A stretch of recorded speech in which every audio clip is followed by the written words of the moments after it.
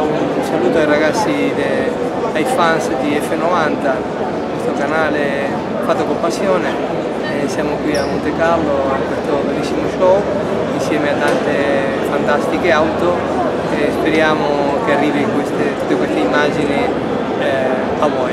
Un saluto, ciao!